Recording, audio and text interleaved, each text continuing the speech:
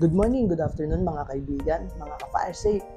Ah, ngayong araw ituturo ko sa inyo kung paano mag-check, inspect, at maintain ng isang fire extinguisher. Basic lamang ito. Pero pag natutunan nyo ito, marami kayong mapupulot ditong techniques and tips kung paano natin mapapanatili at mapapatagal ang lifespan ng ating mga fire extinguisher.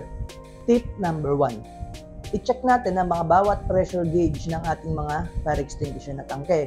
Meron ako dito isang example. Ito yung fire extinguisher ko dito sa aking apartment. Nasaan ba ang pressure gauge? Ito. Ito, mata, ito ang pressure gauge ng fire extinguisher.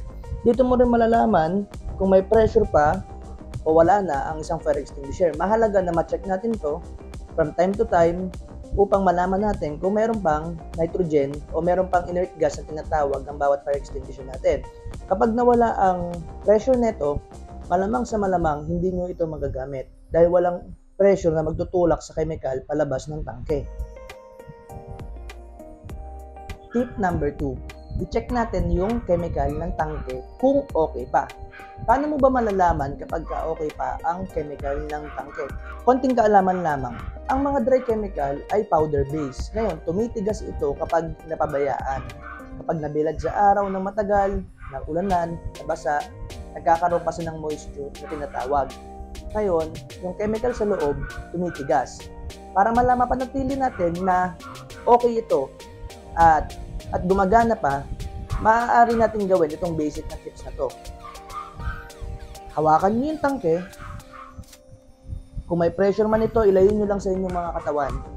Tapos, dahan-dahan natin siyang ibaliktad at pakiramdaman natin kung yung chemical sa loob ay dahan-dahan bumaba.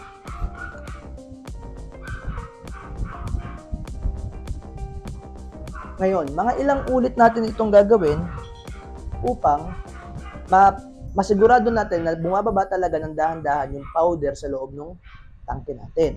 Ngayon, kapag ka bumababa yan sa dahan-dahan pamamaraan, ibig sabihin ay okay pa at good to use pa yung fire extinguisher natin. Siyempre, kapag may pressure yung tangke. Bakit ba natin itong ginagawa?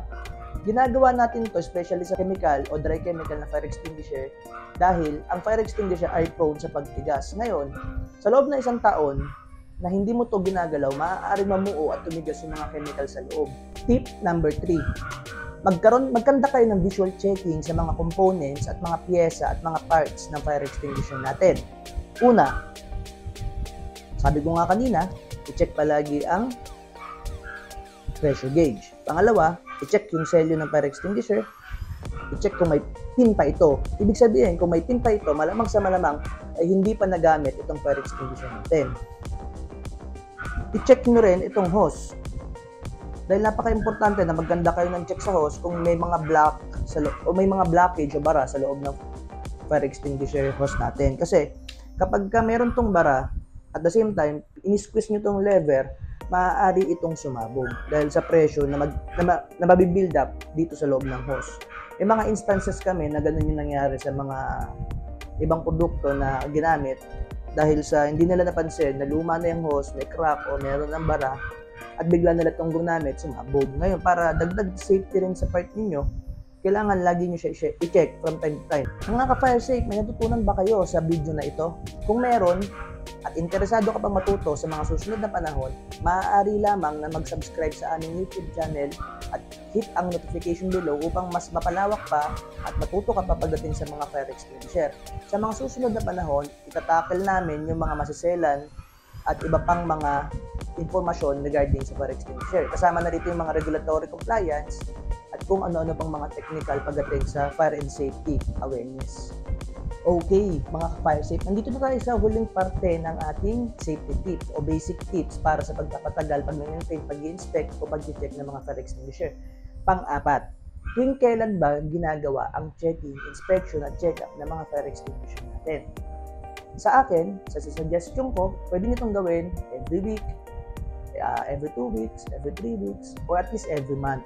Para at least lang, all throughout the duration ng isang taon, bago tayo magpa-maintain o magpa-refill ng mga fire extinguisher natin, ma-make sure natin na nai-utilize natin ng buo at laging op- in good operational condition yung mga fire extinguisher natin. By the way, ako nga pala si Engineer Abe Ramos ng AD Ramos Engineering Services. Maraming maraming salamat sa panonood at pakikinig sa ating basic ng fire extinguisher, maintenance, inspection at check-up. Maraming maraming salamat. Yun lamang po.